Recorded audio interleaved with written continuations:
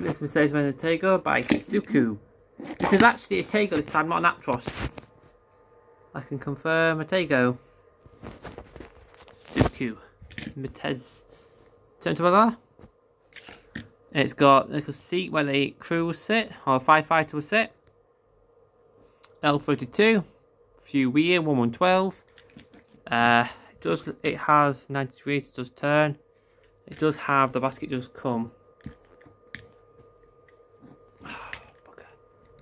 There we go.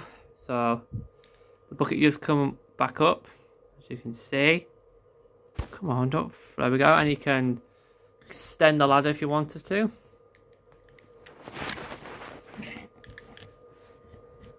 Just like that. Look at that. Amazing.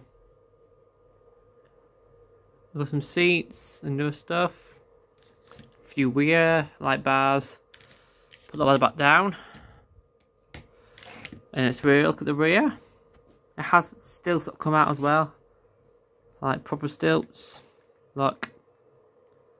There's stilts that come out so you can balance it if you wanted to.